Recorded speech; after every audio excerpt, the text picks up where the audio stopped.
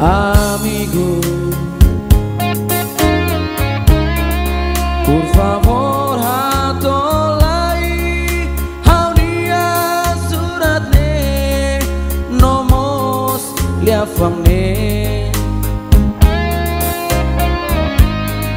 Nyala